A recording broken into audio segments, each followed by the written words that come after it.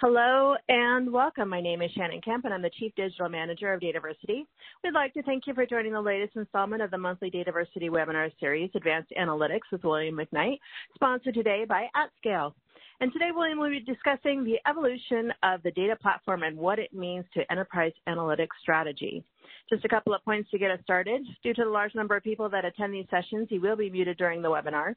For questions, we will be collecting them via the Q&A in the bottom right-hand corner of your screen, or if you'd like to tweet, we encourage you to share highlights or questions via Twitter using hashtag ADVAnalytics. And if you'd like to chat with us or with each other, we certainly encourage you to do so. Just click the chat icon in the bottom right-hand corner of your screen for that feature. And as always, we will send a follow-up email within two business days containing links to the slides, the recording of the session, and any additional information requested throughout the webinar. Now let me turn it over to Dave for a brief word from our sponsor, AtScale. Dave, hello and welcome. Great. Thanks, thanks, Shannon, and uh, hello, everybody. Thanks for uh, for joining us today. Just a little bit about AtScale before I hand it over to uh, to William here. So what AtScale does is that uh, we help these customers that you see here uh, modernize their their analytics infrastructure. So uh, William's talk is is is very pertinent here in terms of of, of what we help to, um, our customers do. Uh, we have a, lot, a, great representation between financial services, healthcare, and retail, and each one of these customers was looking to uh, modernize their infrastructure, move to the cloud, um, but still carry with them, you know, all the functionality that they had, especially when it comes to multidimensional analysis. So next slide. Um, AtScale fits right here in this new analytics stack. Um, and uh, I think William will be talking a lot about what this new analytics stack looks today. But uh, our message is, look, there's there's data warehouses and there's data lakes. It's not an either or, it's an and. And so you need um, an architecture that allows your consumers, whether they be uh, people using BI tools, using BI tools like uh, Power BI, Excel, mm-hmm. and Tableau, uh, whether you have data scientists who are using their Jupyter notebooks or whether you have uh, developers who are building applications with analytics. You need to have that one multidimensional uh, governed view of data. Um, and that all comes with a uh, with a scale out virtualization engine, and that's where we do. We allow people to consume atomic data if you're a data scientist from the data lake, or uh, uh, blessed and rich data in the data warehouse if you're a, a BI analyst, and we make all that invisible to those consumers where that data sits. Next slide. So some of these customers and, so, and some of our value propositions propositions um, is you know is to accelerate uh, accelerate decisioning. Um, so Koch Industries, for example, um, with uh, in, had a big investment in Redshift. Only a handful of users could run concurrent queries. We uh, extended that to hundreds of users and improved their performance by almost 40 times. Uh, we have uh, um, we have uh, uh uh, Kohl Industries, or sorry, um, uh, department store. Um, they eliminated nine months of data prep. So truly getting to new data sets and new decisions very, very quickly. Uh, we control the complexity and the cost of analytics. So as you move to the cloud and you get those big cloud bills, um, we, for example, help Bol.com reduce their Google BigQuery spend by 91%. Uh, we helped customers like Wayfair migrate to Google BigQuery, uh, but still um, still be able to run their OLAP workloads using Excel um, against with thousands of analysts. And we've helped uh, companies like Tyson Foods, Home Depot, and United Healthcare be able to govern uh, their analytics and make sure that only the right people uh, can see the right data um, and that the data is secure regardless of who's consuming it. Next slide. Uh, these are our, our, sort of core um, um, IP. This is our core value propositions. We have a, a data virtualization engine that uh, will play the data where it is. There is no loading data in AtScale. Uh, we will um, we will uh, actually uh, pass those queries right down to the underlying data stores and hide all the complexity from the from users. We have a universal semantic layer. That means um, both whether you're querying with OLAP through tools like Excel and Power BI or through SQL with tools like Tableau, everybody's going to get the same answer at the same time, including those data scientists who are building their models. Autonomous data engineering is our technology to eliminate all the laborious and manual ETL it takes to stand up an analytics uh, infrastructure We do all that automatically with AI. Uh, we look at we look at user queries, tune those automatically, and make your underlying data platforms perform by orders of magnitude better. And then we do all that with a security and governance layer, again, that makes sure that only people people can see only the data they're supposed to see. Next slide. Uh, we we do that with a platform that looks like this. Um, I'd encourage you to come to our website. We can tell you more about it, but basically we're connecting uh, consumers to the underlying data that you see at the bottom there. And we do it with a modeling framework, uh, a multi-dimensional engine that's built in with data virtualization uh, that makes sure that we can join data across these different silos. And of course, uh, we make it all super fast. And then finally, one last slide. If you go to the next slide, is uh, I, I, encourage you to come to our website and, and look at our TPC DS benchmark. So we ran against all these different data platforms, uh, uh, BigQuery, Redshift, Snowflake, Synapse, Databricks. We ran them on AtScale and without AtScale. So you can see the raw performance if you're looking in, in the market and looking to compare um, each of these platforms. And you can see what we've done with AtScale. We improved query performance um, up to 12x faster. In terms of user concurrency, you can look at it, up to 86 times more users um, and faster queries. And of course, we saved a ton of money, up to 10x cheaper or 11x cheaper in Databricks case uh, for the same amount of queries. Um, and, and, that means lower cloud bills. Um, so that's that's it for for me. I'm going to hand it over to William, and so back to you, Shannon. Dave, thank you so much uh, for kicking us off, and thanks to AtScale for sponsoring. If you have questions for Dave, feel free to submit them in the Q&A section in the bottom right-hand corner of your screen, as he will be joining us in the Q&A at the end of the webinar today. Now, let me introduce to you our speaker for the series, William McKnight.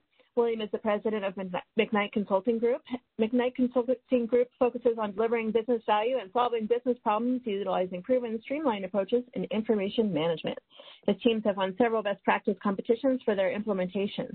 He has been helping companies adopt big data solutions. And with that, I will give the floor to William to get his presentation started. Hello and welcome.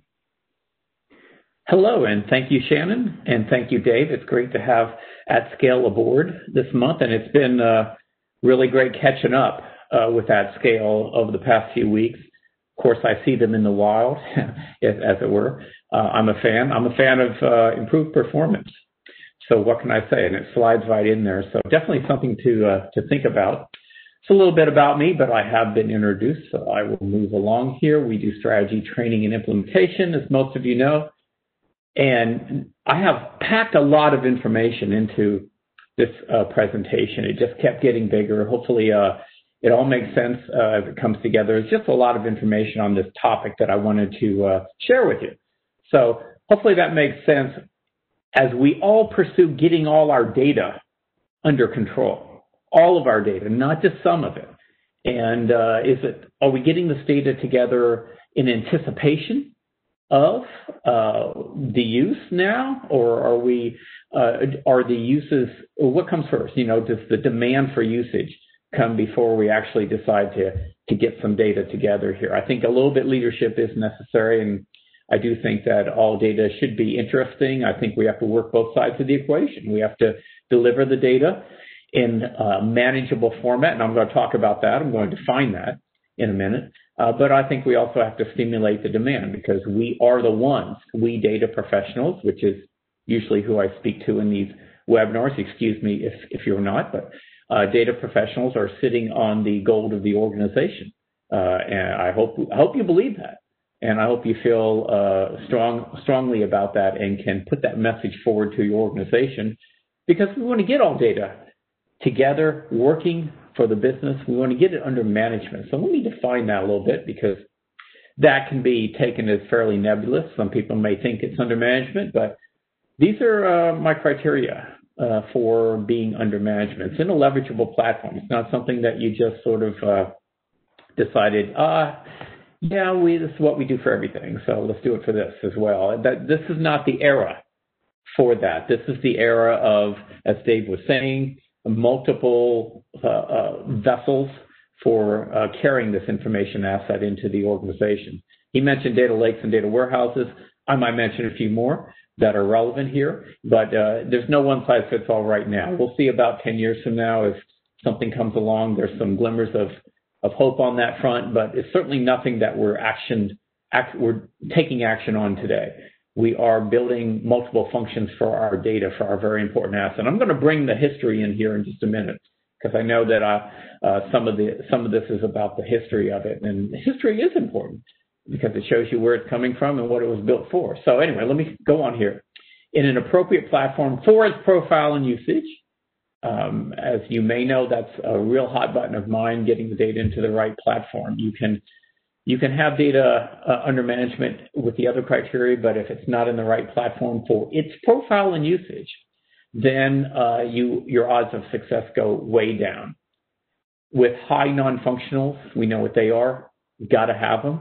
There's no, uh, and, and I find a lot of organizations get hyper focused on one versus the other. Others like performance uh, at all costs or scalability at all costs and forgetting about the other. These are all important. Data captured at the most granular level. This gets back to the philosophy of getting all data under management, not just summary data, not just some data, not selective data, not data that uh, you you can't quit uh, you can't turn away the uh, the screams for that data. And that's not that should not be the criteria. You need to work together with the business side of your business and make sure that it's all getting uh, put into the most action. Because you know I get asked this question a lot. You know, what is it? Is data important? Is is data where we should be placing our energy, our budgets, our focus within organizations? And the answer is absolutely, unequivocally yes uh, as long as you're doing it the smart way. If you're not doing it the smart way, eh, then uh, all bets are off. so we want that data at a data quality standard as well. We do not be, want to be moving around data that and making data available that is below data quality standard that the organization has agreed upon. And we don't want everyone coming up with all the rules for their data that they're going to use in their application data, most applications need multiple data sets, multiple sets like customer product, site, pro, uh, part, and so on. We could go on and on. You know, we could. Uh, they, those are all, those all should be governed somewhere so that we're on the same page. And that's data governance. Data governance is not a product. Data governance is a process, and some products help, but it is not a product. Moving along. One of the main reasons why we need all data under management is for artificial intelligence. I'm not going to read all this. These are just some examples of uh, data that we've put to work for artificial intelligence. I'm sure you can think of many more. Uh, most of you are starting to at least think about artificial intelligence for your enterprises and the data that goes along with that, getting all that data under management. So, what's a great architecture for artificial intelligence? Well, that's the answer right now from me anyway, is it's a great data architecture. A great data architecture with multiple components working together. We got the lake, and the lake's going to be very important here. I don't want to just throw it in there with everything else. The, the lake is going to be where the bulk of the data is that artificial intelligence will draw from, at least in most organizations. But there's others, and I'll get into all of that as we go along here. By now, maybe you're catching on to my philosophy of well, it's kind of embodied in this graphic. Maybe you've seen me give it give this one before, but uh, it just it speaks volumes. You know, it's kind of below that water line is the data, and most users don't see it, don't care about it, don't have the capacity to think about it. They just want you to do the right thing there and uh, and make that data available. But we should be putting our energies commensurately into the respective areas based upon what you see here. Yes, of course, the BI and AI layer is something of importance that we need to place emphasis on, but that data layer and putting foundational pieces on that data layer, like at scale, making that data really more functional within the organization. That's where we should be putting most of our focus. Yeah, you can get some quick wins on the BI and AI side, but I've seen so many organizations that that's all they work. That's all they work on. And they get some quick wins and, but they just keep adding onto that layer so that they have an inverted inverted one of these pictures. So their their data is actually or their BI is actually the behemoth, and the data as well it's it's huge, but they don't work on it, and so it's ugly, and that that can become a real mess. So Please keep the focus on data. Even when a user will say, well, can you change this report? Think data. Think data. I want that data to be able to jump into any BI tool and make sense, right? It shouldn't be the BI tool standing on its head trying to get value out of the data. It should be the other way around. Okay, now I'm going to bring in some of the history here. Now, the relational database data page, this is obviously uh, the structure of where we put most of our data in, in an organization. I say most, that's that may be questionable today with the data lake in place, which is not usually on one of these things. All right. Uh, by the way, as I get into these terminologies, um, do know that the industry doesn't have great standards, and uh, you know, one person's data warehouse might be another person's lake, might be another person's mart. Um, I just try to try to understand what you all are trying to say out there and uh, and go along with it. Um, but in absence of that, or in places where there's a lot of uh, difference of opinion, if it, if you will, um, this is this is where I go. Uh, data warehouse being that uh, relational database, okay, or databases as the case may be, where you have that centralized data that's been governed and is well performing and so on. So anyway, backing up, what is the relational database? Well, it sits on it, it's now there's a lot more to it than just the data page, but the data page comprises the bulk of the actual storage uh, unless you have a ton of indexes. Okay. So the data page has your records on it. Now, I'm not getting into gory details here, but this is stuff that you should know if you work at all with a relational database. I'm talking Snowflake, Redshift, uh, uh, Synapse, uh, on and on and on, right? Oracle, uh, DB2, on but these guys. All right. If you're working with these guys, you've got to know what happens down there on the storage layer because I think that helps you. That helps you determine what is right for putting into this kind of storage. And to date, uh, most appropriately, by the way, we've been putting most of all of our data into these relational databases. But that should not be the end of the story because this is, uh, while it's great, you can see maybe a little bit of what it's great for. It has these row IDs, so you can get some good random access. Well, random access is going to be a lot better here in a relational database. But this is a costly endeavor to have all this structure around the page. You're going to have some uh, some holes here right before the row IDs is where typically you have some some gap space. Um, and you really need indexes, which, as I mentioned before, can take up a lot of uh, lot of space just to navigate uh, the records in a relational database. So there's a lot of good and a lot of bad uh, when it comes to a relational database, but it's been around for a while. It's been around. Let me just fill this out. Let's let's add a record. Okay, so we added another row ID. All right, we pointed it to our new record. How do you like that? That's how it works. So it figures out what page it should go on, keeps the row IDs in order if you have any clustering sequence or anything like that, and then it puts the records in, in there. And what I don't show here, by the way, is that records typically have a header of a few bytes that have some navigational information about the record, which comes in handy if you have varchars, especially because it says how long that record is, and so on and so forth. But anyway, this all came around in the 70s, that's right, the 70s. Now, also from the 70s are many other things that we still use today, okay? It's not all bad. Email, WYSIWYG, the microprocessor, uh, Ethernet, post-it notes, and uh, even mobile phones were invented back in the 70s. They weren't so mobile. They were huge, but we have some good things that came out of the 70s. Uh, I was around then, uh, and even before, but we don't need to talk about that.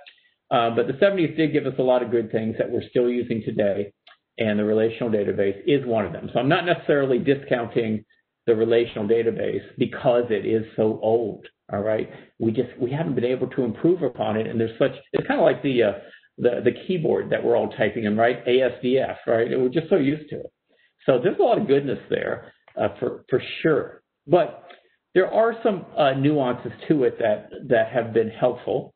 So in the early 90s, uh, there was a company called Expressway, and they developed the Expressway 103, which was a column-based engine optimized for analytics because they figured, well, why are we doing IOs on, let me back up, show you this here. Why are we doing IOs on all of this when we only want certain columns in here? Okay, I'm not going to fully explain the column orientation, but it's significant enough to where most databases go to market. I, sh- I, should say all databases come to market now with at least the possibility of having columnar orientation. And most of the databases out there have been uh, engineered so that they can go this way. And what this simply means is that you have columns of values stored together instead of complete rows. Now, back to the history, I think it's interesting. That company, Expressway, eventually became Sybase IQ when Sybase acquired Expressway and introduced the IQ Accelerator and renamed it to IQ. That was around 1995. So you see there was some time time spent in the market with just the relational non-columnar, I say row-oriented uh, approach to things. But the majority of database systems that you have been working with, that I have been working with, has been row-oriented, uh, unless you just came into this business in the past year or so. You may never have applied that label, know why it's important, or that alternatives exist. And for many, even DBAs, the need to know down at this layer has not even been there, but it should be there. The better DBAs are going to know this stuff and going to use it to their advantage. So uh, other other companies very important in the history of columnar. One of them was Vertica, and that came along in 2005 by it was Michael Stonebraker and Andrew Palmer and they presented this as an alternative to IQ, in some ways better, and uh, it continues to be strong and to, to this day. And I'm going to I'm going to talk about the relevant DBMSs to you as we get along here a little bit in the presentation. And I know I'm belaboring columnar here, but it's because I'm just such a fan of it for the analytic uh, analytic workload. And so um, in absence of information to the contrary, I think probably good, a good 90% of analytic workloads, which includes the data warehouse, by the way, should be columnar oriented. And I'm even applying this to our data lakes today. And I'm going to show you, going to show you how we do that when I get to the lakes part of this. Now, along came distributed file systems. And uh, I think the first of this was probably Hadoop, the first actually marketable one. That was uh, the co-founders were Doug Cutting and Mike Caffarella, and that was the Google file system published in October 2003.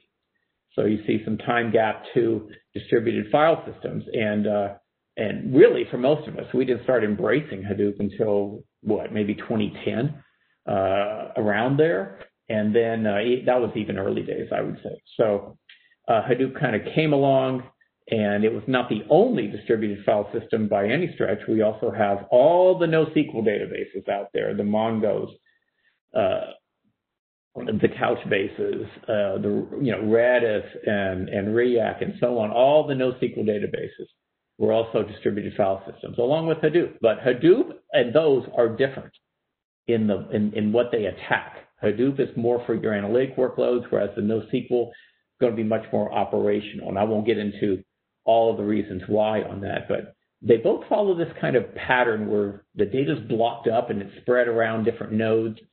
It's spread around to nodes on different racks um, and within the same rack. And all this is to minimize uh, failure. This is how it handles failure. So yeah, it does kind of blow up the data a little bit, but still, there's not a lot of overhead on it. There's not a lot of navigational abilities and so on. That's why the first Hadoop, we had to read everything from start to finish, uh, which was rather a taxing uh, thing to do when you just wanted to pull a record or two. so we don't have that anymore, fortunately.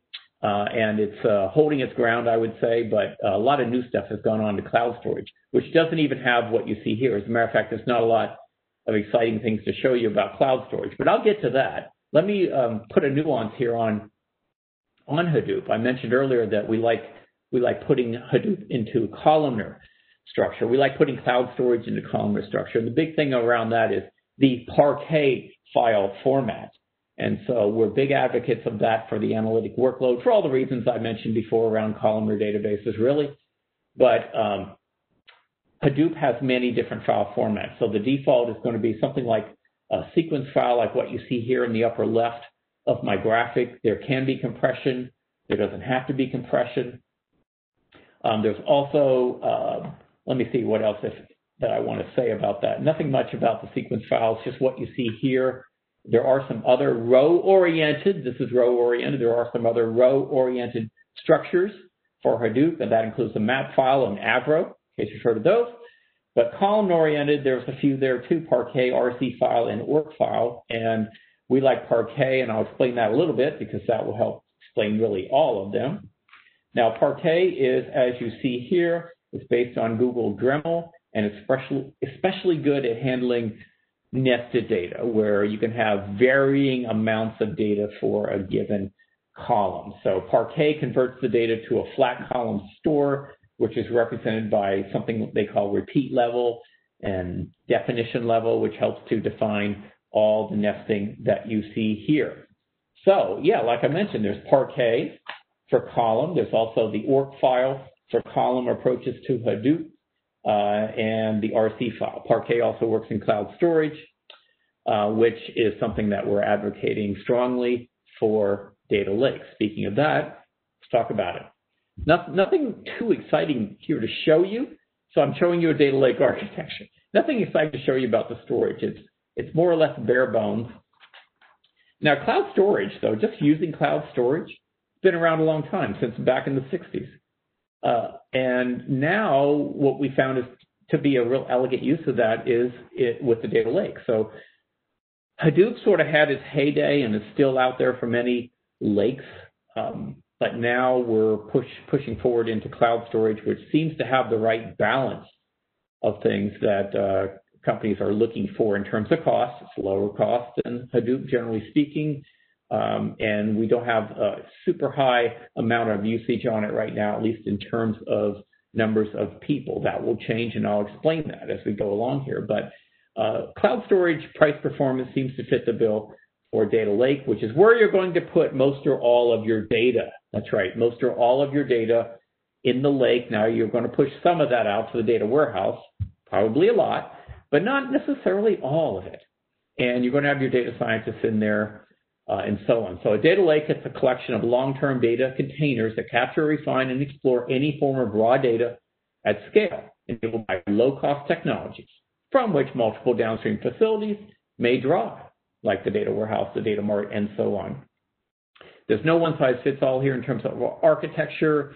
Um, I think I will show you an architecture slide later, which puts in place some parameters for you, but nobody's coming to the table with a blank sheet of paper.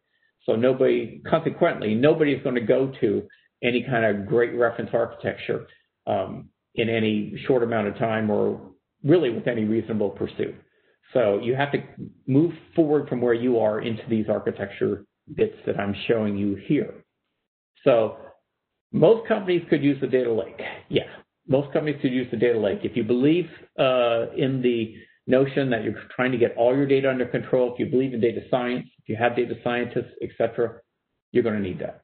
Now, the other big structure that came along, this was this is uh, influenced, I would say, by some technology that also came out in the mid 1960s. Uh, some of you may remember IMS from IBM. I do remember that. And its tree-like structures, its hierarchical model, graph st- structures could re- be represented in network model databases from the late 1960s, but uh, they frequently were not. And it, this only became really commercial in the mid to late, I'd say, 2000s. And the, the early player was Neo4j, still a huge player in this business, and Oracle was a uh, nod to them there because they were a good early player in graph as well.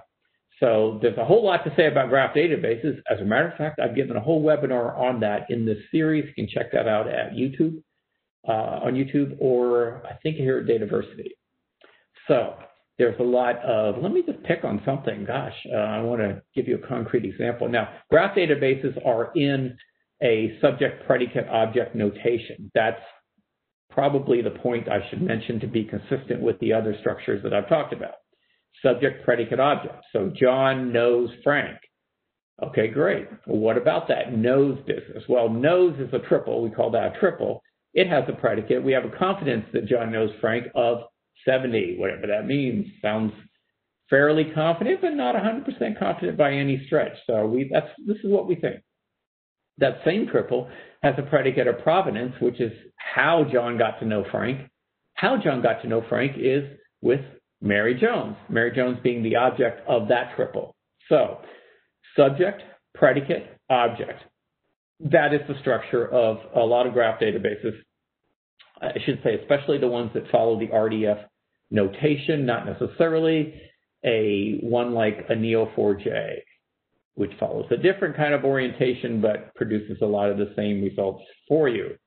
Here we see a lot of the nodes in the upper right hand of my graph. You see a lot of the nodes, so-called nodes of the graph, and we're going to label that one there in, in the orange as a bridge for vertex because it stands out as being something that connects these nodes on the left of it to the nodes on the right of it seemingly very well. So that would make it pretty important, which is one thing I always like to say about graph databases when I share information, which is that they are not only great for visual, but they are great for determining what's important in my network. All right. So let's put this to work. Now we know some structure. We know about relational databases, column orientation, uh, uh, Hadoop, cloud storage. We know about graph database. Those are the main ones. So let's put them to work. Now, there is an increasing probability that you get this right, you get the platform selection right, and that's going to lead to success. If you just have one question before you make your platform selection, and that question is, what do we always do? Or who do we have an enterprise agreement with? What do they think? Those are not enough questions to get this right. Those are putting you at high risk. I got 20 questions, and of course they're nuanced, and of course I have to believe the believe the answers that I get. Right? You should too. Um, so you need to get get more nuanced about. Most of you need to get more nuanced about this to get this right. Uh, you don't want to be throwing the proverbial dart against the wall when it comes to platform selection. Now, here I'm not even talking about whether you're choosing Oracle or IBM or, or Microsoft or what have you. I'm just talking about getting into the right category. Okay, getting into the right category from the categories that I mentioned before. You don't want to put a graph workload into a data lake. You don't want to put a relational workload into the graph, uh, et cetera, et cetera. That you get wrong and you, you pay for it dearly. So that's something I want you to avoid. So let me see if I can help us a little bit.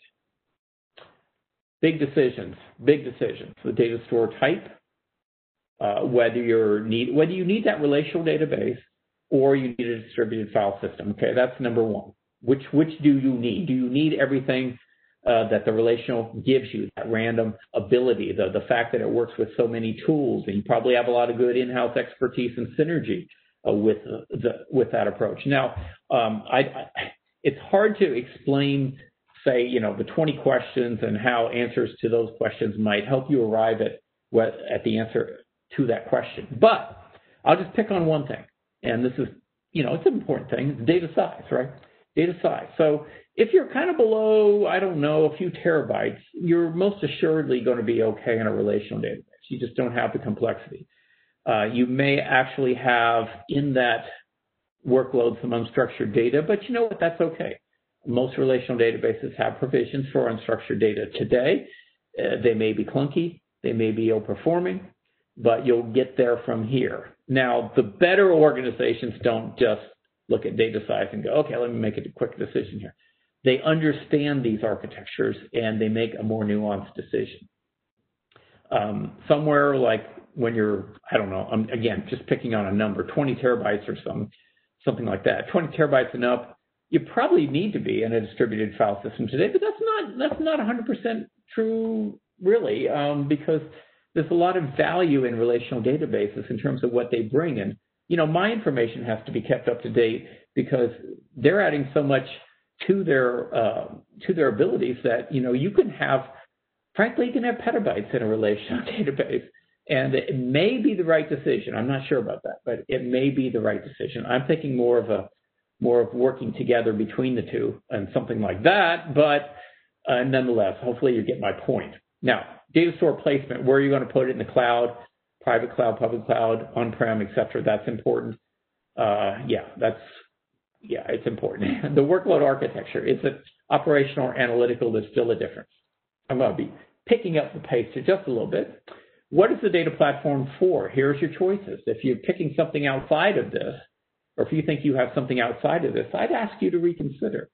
I'd ask you to reconsider whether you actually do have a oh, I don't know, uh, what you might call a, a, marketing database that acts an operational data mart, but is really a data warehouse to some people, et cetera, et cetera. When you have that kind of long tail definition that you have to put on that data store, that might be a candidate for uh, reverse engineering into something that makes more sense in real architectures like the things you see here. Hopefully most of these things make sense. And yes, I did get back into the operational arena a little bit um, for this list.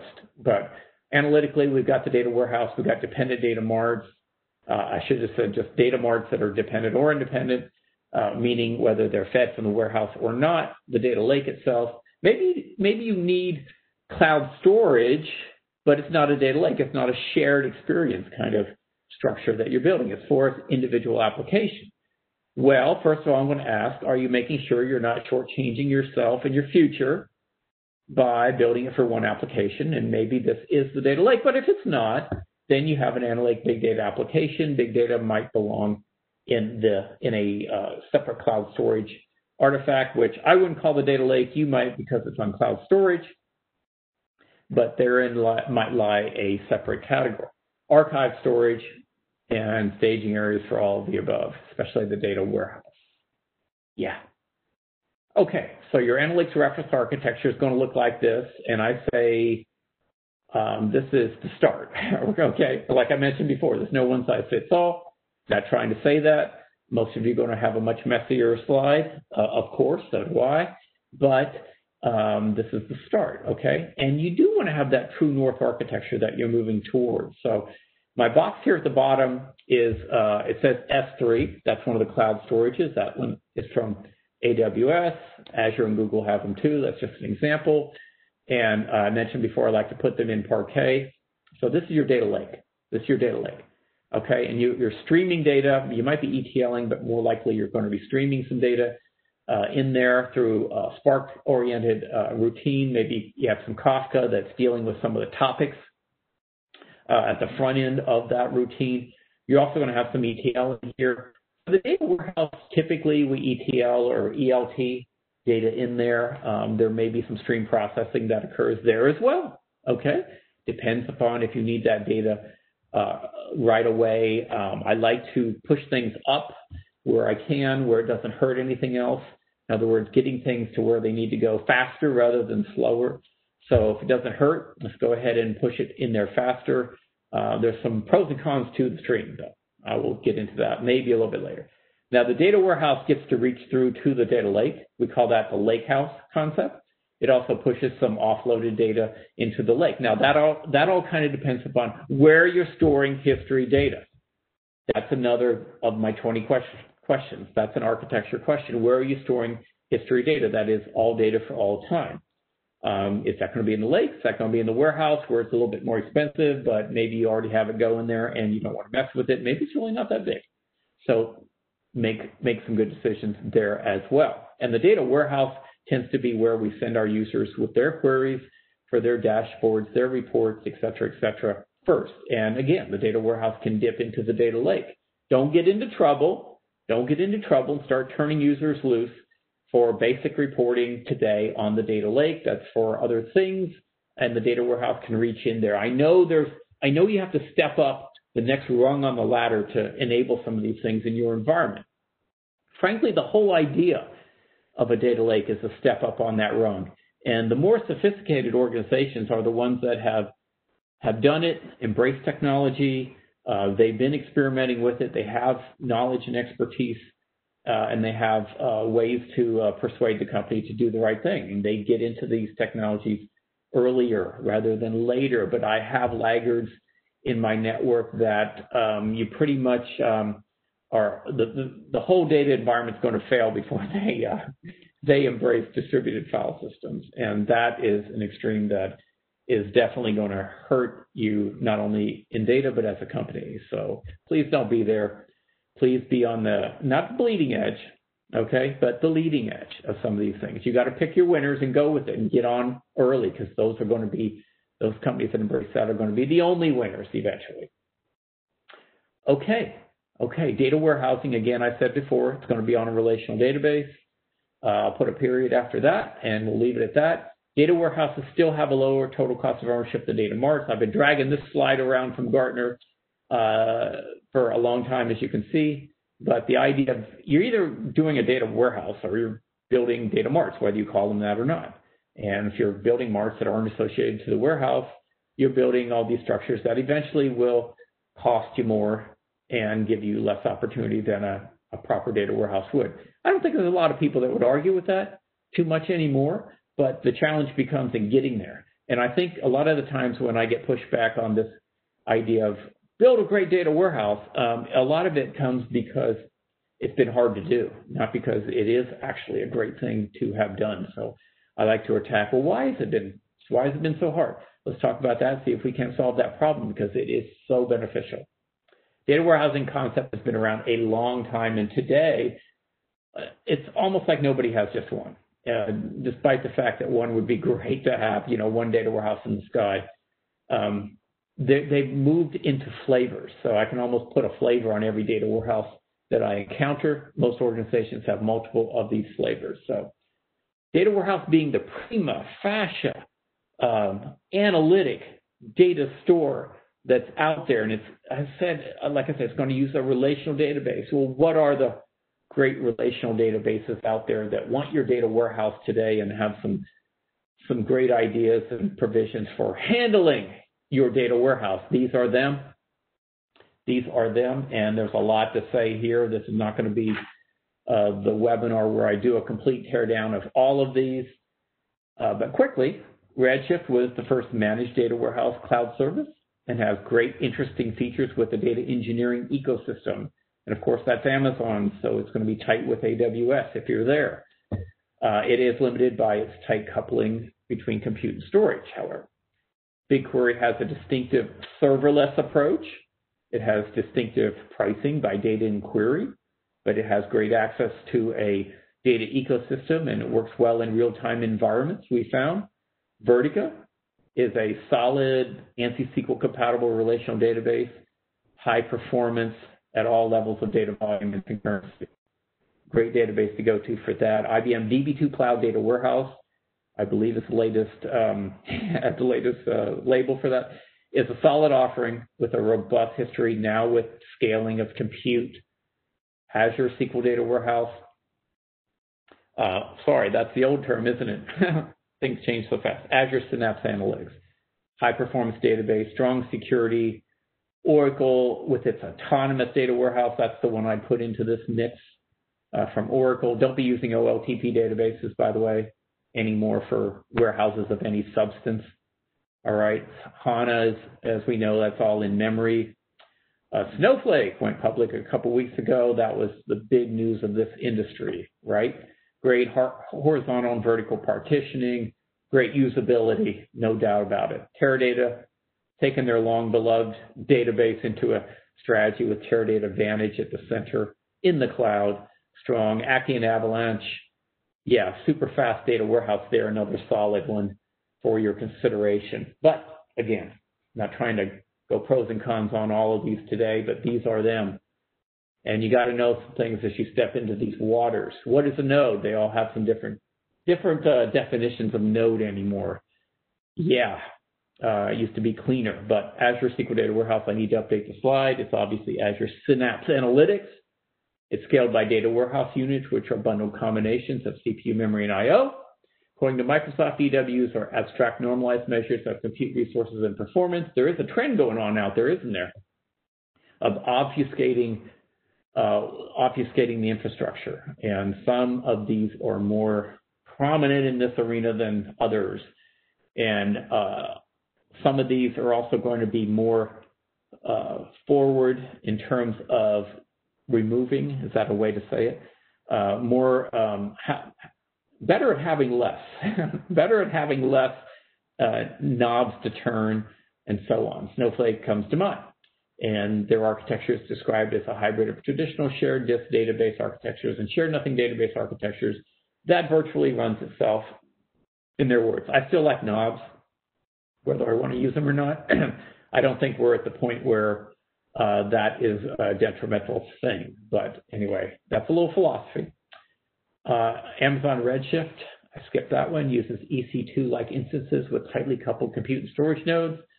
And BigQuery, as I mentioned, they have what they call slots, which you can buy by the month and all you can eat, or you can pay for query and data. Very interesting, very interesting serverless approach. Uh, maybe on the cusp of some big things here. All right, that was fun. Everybody tends to really, uh, if I had one of these um, meters where the interest in my webinars are going up or down, everybody tends to, I think anyway, go way up when I start talking about vendors. But I'm going to bring it back here to some uh, generalized things here that are very important. Uh, costing the platform. For many, you pay for compute resources as a function of time. And I'm going to skip over a little bit, but alternatively, some cloud vendors have consumption-based pricing models where instead of paying by the hour, you pay by the byte process. This all isn't rocket science, folks, but it is something that's different than what it used to be, and you just got to get get on board with it. And once you got it, you got it, um, and keep you can keep an eye on it a whole lot closer than you used to be able to. Uh, price is certainly a consideration as well uh, coming when you're looking at these things. So price performance really being the the ultimate, the ultimate uh, factor in making decisions around workload. And it's more than just cloud costs. There, if, if your database lacks administration features, if it lacks features that cause you to do increased workarounds, increased configuration and management, if it doesn't have things like store procedures, referential integrity, and uniqueness capabilities, you can survive with that uh, clearly you know, especially in smaller workloads. But uh, that is going to create some more coding, some more uh, configuration of the database and so on, things that we're trying to get away from. Mission critical options for backup and disaster recovery, which typically includes a standby database. If you don't have that, you're going to do it yourself. Full ANSI SQL compliance, you're going to have some some rework uh, when it comes to doing uh, moving SQL to this database, etc. And performance. Wow, yeah. If it doesn't perform, it's going to be sitting there raking up uh, raking up a bill on you without uh, coming back, and that's no good. You want performance. Plus, Obviously, think of all the possibilities lost when users are sitting and waiting instead of iterating with their data, which is what you want. There's another pricing gotcha. Scale out impacts cost. Scale out impacts cost, and there's a whole a whole lot behind this, but even if you're just scaling out, let's just pick on something here, not even 24/7 uh, or Monday through Friday, but in a month, just in a month processing, it's going to blow your budget unless you've thought through this. If just uh, uh, uh, scaling up, let's say that you have eight nodes and the database requires the scale up to be another eight nodes.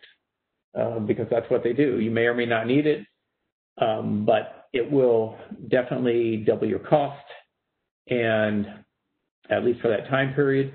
And as you can see here, there's some numbers we threw into uh, our calculators, and you can see it can go from 2.2 on a flatline basis to, if you, oh my God, you ever have to scale up, all the way up to 3.3 if you're scaling up at uh, you know three times just Monday through Friday nine to five to handle those workloads. So if you don't spec it right in the beginning, you're in that boat. And so there's no free lunch. Sorry. Memory pressure on scale out compute. Yeah, there's a lot of that as well. Whenever a data warehouse does not enough, have enough memory to build a join hash table, which is frequent, and keep it in memory. It has to spill to disk. This is costly in terms of performance because the database has to do double work writing, sorting, and reading rather than having it all in memory. And you can't just provision a medium, let's say, you know, whatever a medium-sized cluster is to you, and let it scale up to two, two of them during the busy hours.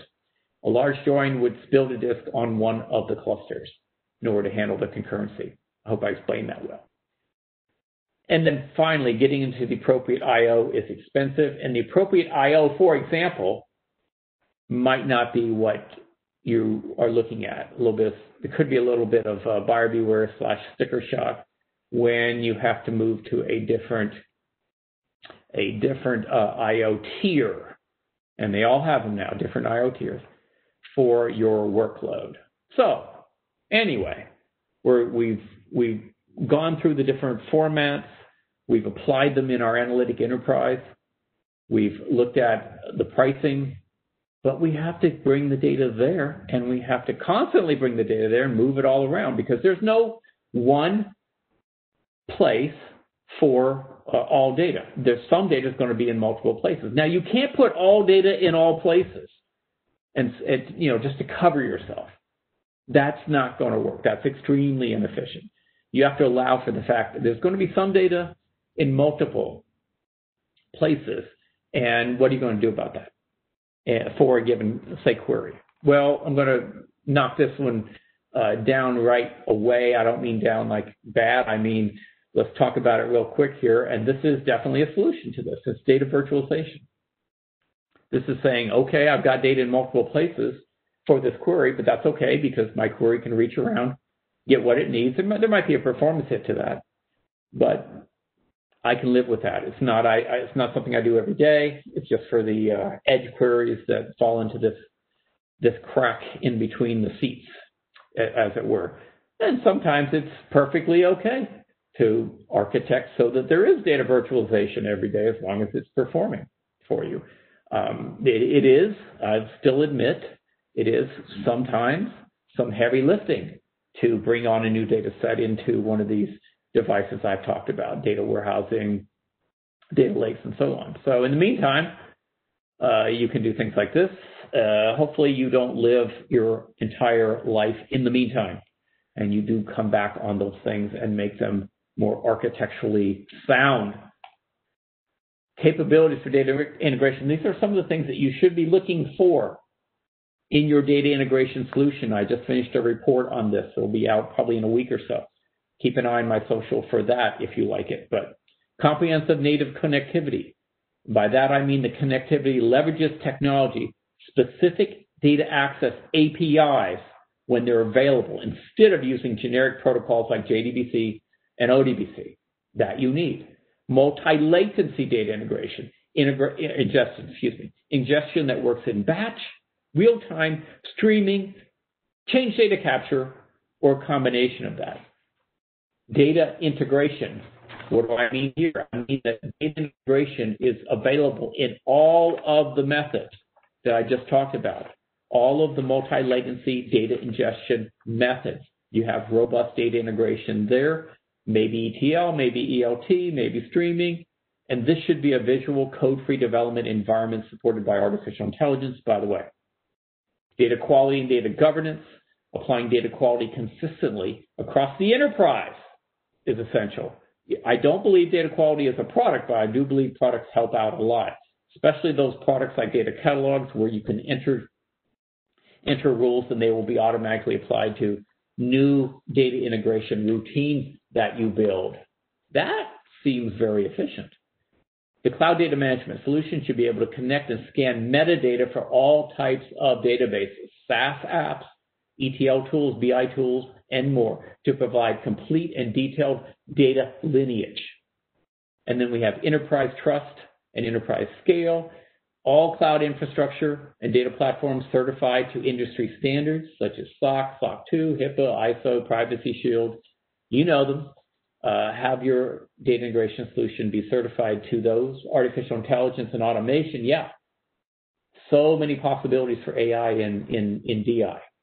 Data discovery, looking at similarity, similarity, matching, classification, schema inference, lineage inference, business term association, and so much more, even data pipeline building, which should be self-integrating, self-healing, self-tuning with anomaly detection. And finally, I'll say that I like your solution to be multi-cloud because most of us are multi-cloud today. A solution should be hybrid and operable on the three major cloud service provider platforms as well as on premises. These are your options running up to the end here, so I'll be quick about it. I wasn't intending to say too much about them, but these are sort of the great options out there today. Some of them are going to be heterogeneous and work for any workload, any like Informatica, Talend. I throw IBM in there. There are other aspirants to that. The Cloudera approach is certainly a, a, a formidable approach for a data science environment for data integration.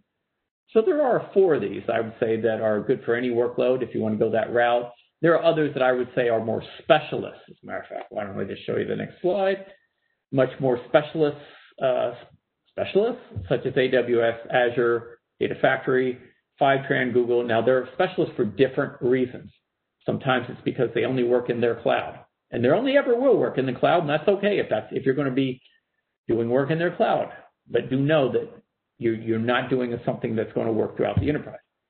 Uh, and then you got your Fivetrans, you got your Matillion. Now Matillion's uh, an aspirin, I would say, for heterogeneous, but you got your Fivetran, Matillions, and others stitched from uh, Talend and so on that are more data prep, greater at data ingestion than anything else. So I'd say contain scope around that.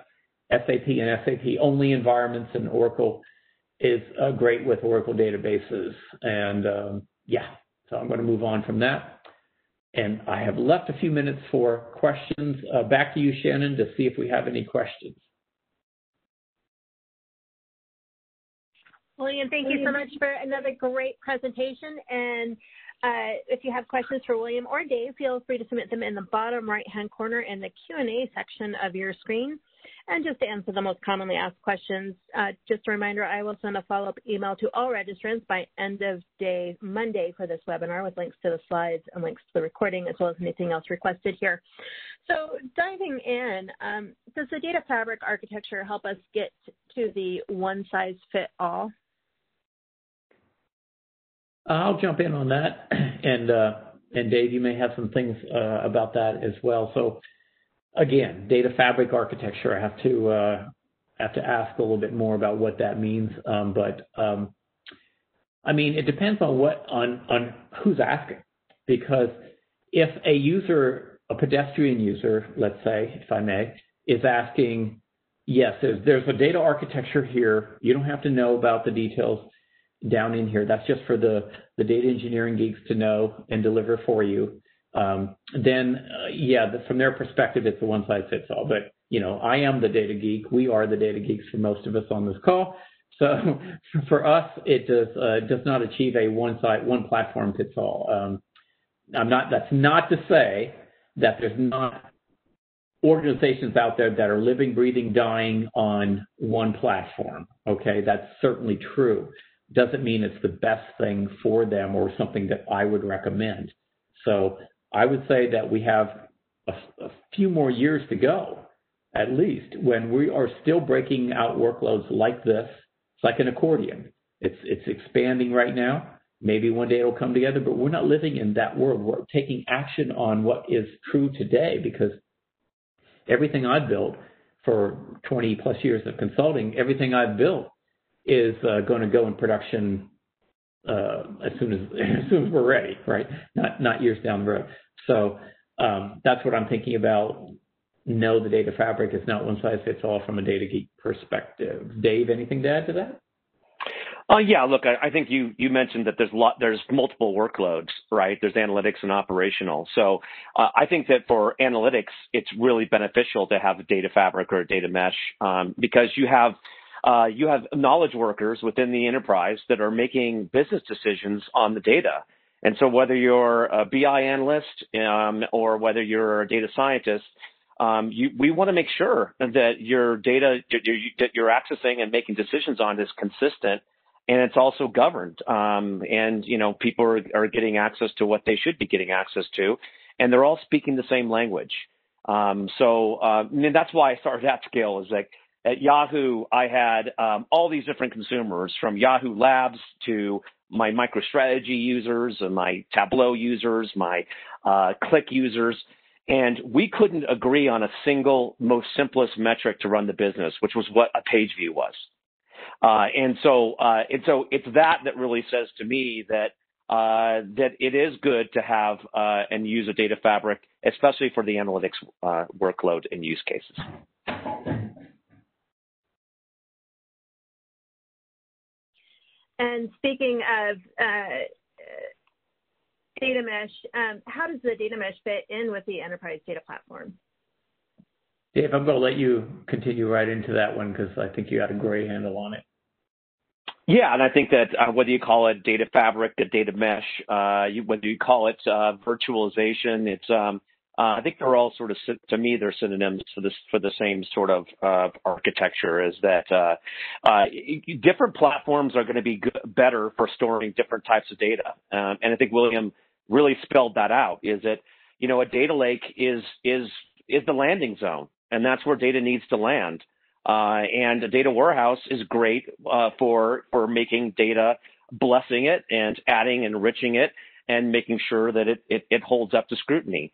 Um, and uh, you know, you mentioned William mentioned graph databases and and other operational databases that are made for doing real time types of decisioning uh, to to you know to to run a business. So uh, again, the, for me, it's if you're making a decision on data analytics and using it for analytics, I think it's beneficial. Um, I think that it's, it's not a one size fits all. So I definitely agree with William on that. Um, but I think it's something that, uh, and you see how fast time is moving and these things are changing.